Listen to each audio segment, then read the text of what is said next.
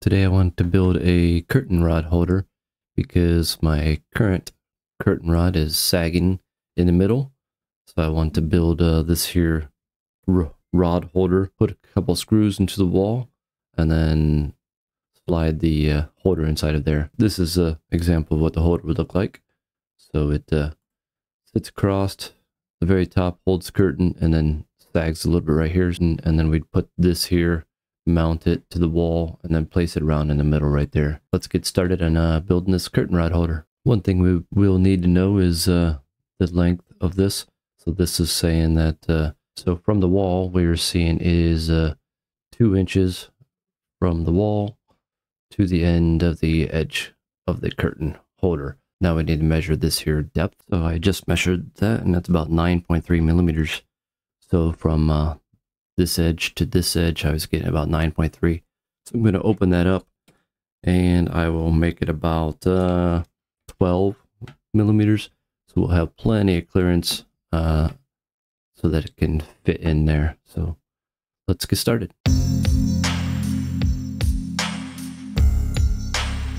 So we're starting with uh, Onshape here. We are using a free subscription. Good create, document, curtain, rod holder. All right, we're going to uh, start on front face here. It's going to build a sketch onto there.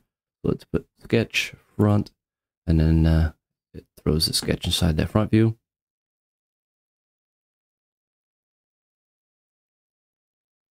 Okay, I'm going to grab this WCS, pull it over click, hold, drag, pull it over, and I'm going to click front here.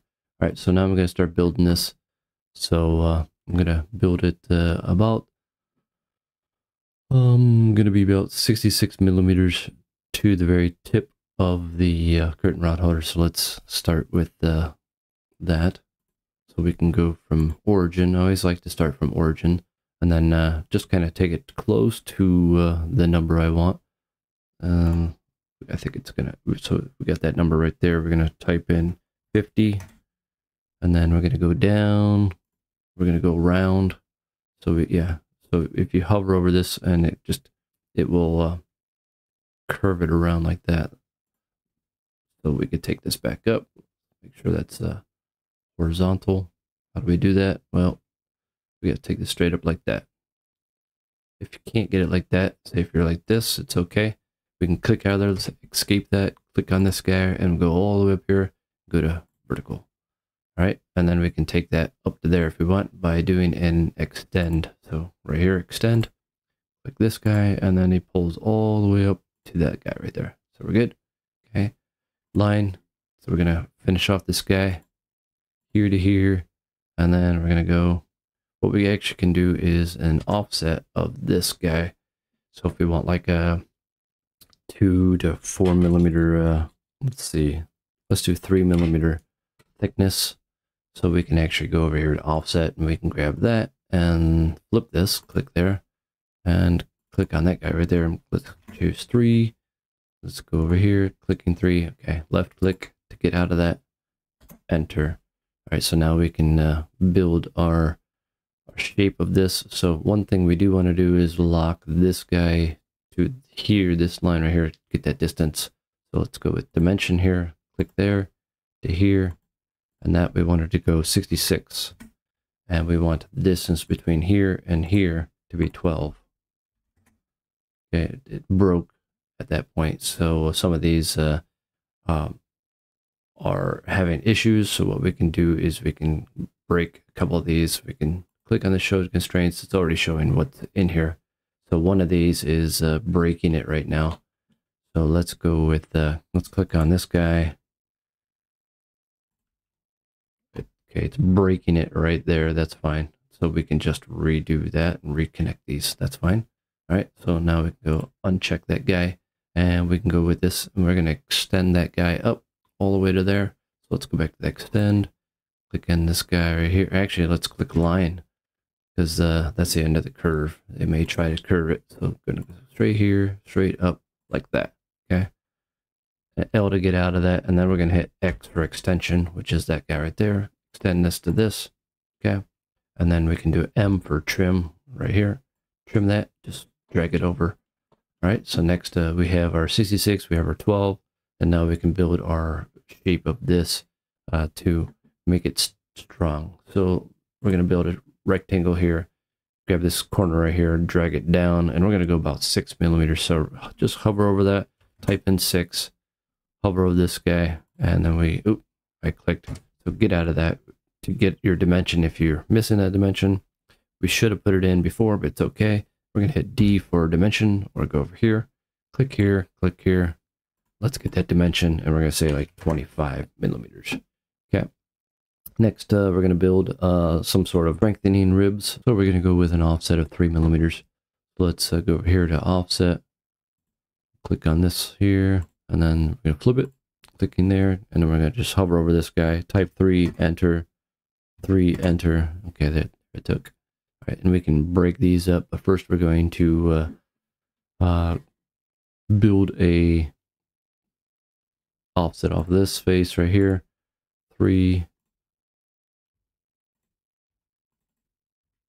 So I just double clicked on that guy, left click to confirm, enter. So now let's uh, build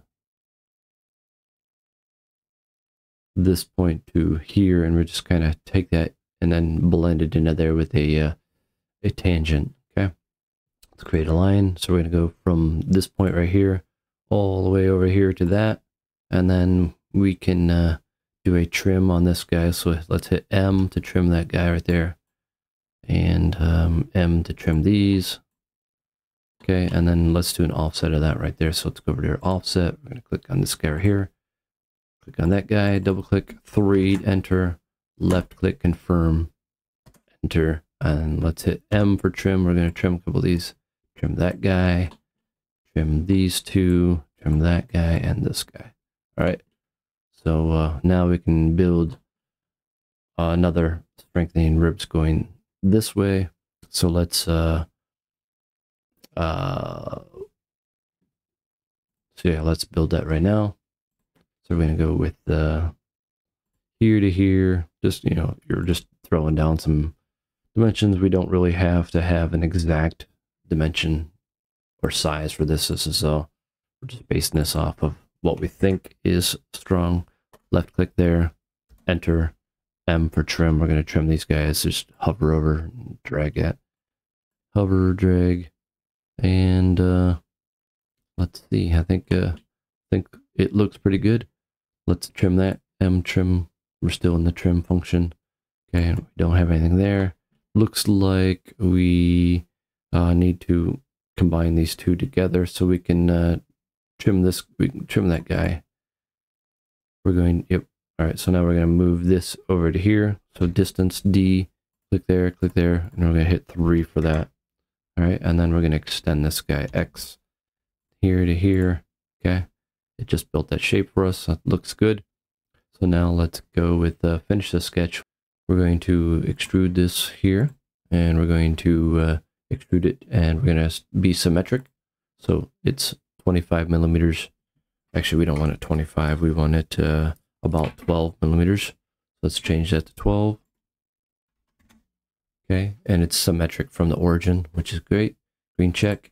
And now we want to build uh, an extension off of here so that we can mount this and have like elephant ears uh, that come off here. So we'll build that right now. So we can go over here and we can build a sketch on this back surface right here, sketch right here.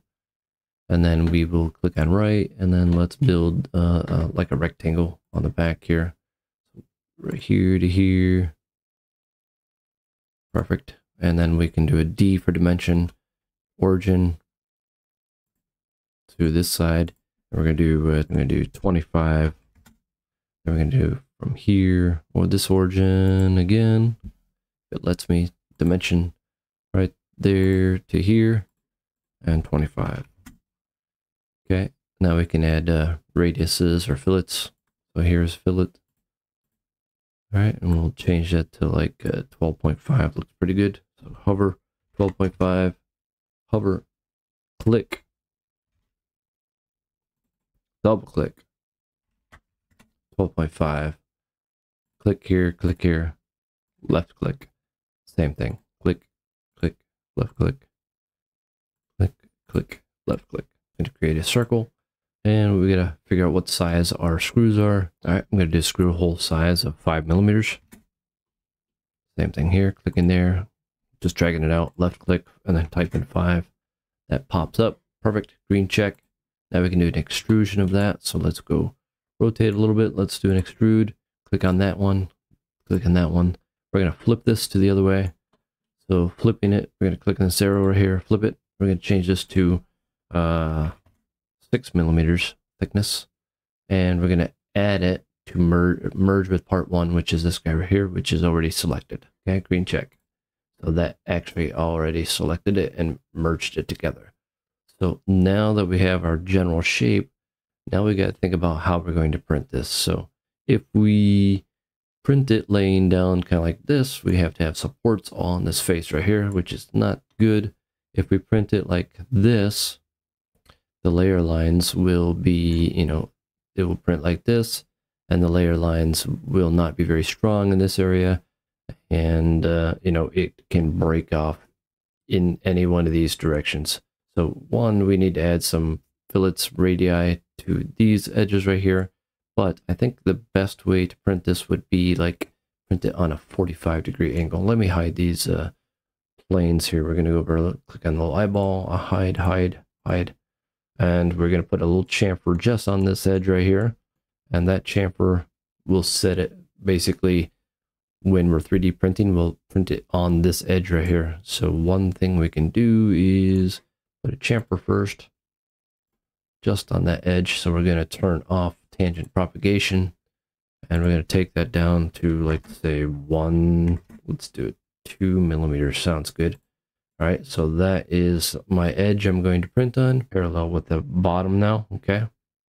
And we're going to see how this looks when it's printing. So uh, it's going to follow this guy right here, prints all that. Uh, gives over here. It's probably got an overhang over here.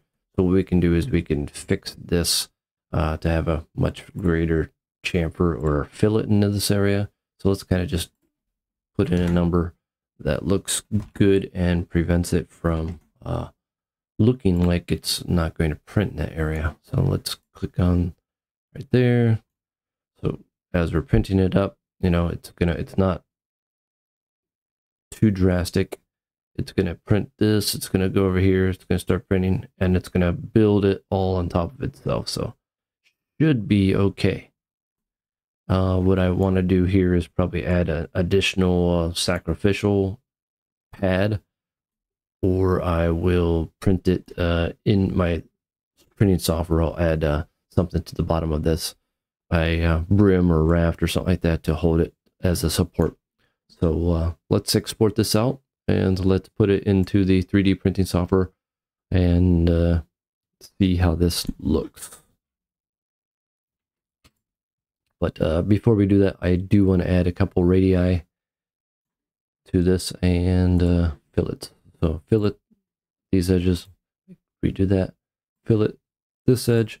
These uh, will prevent uh, like sharp corners, breaking points. So let's change that to like three. Looks great. And then after we put in these fillets, we're going to take a look and see how uh, how well they look. So those two are great. We're going to add a different size fillet to this one. We're going to add like a 0.5 or so. There we go. And then uh, this one, then this one. Green check. Let's add that 0.5. Click, double click on that fillet right there.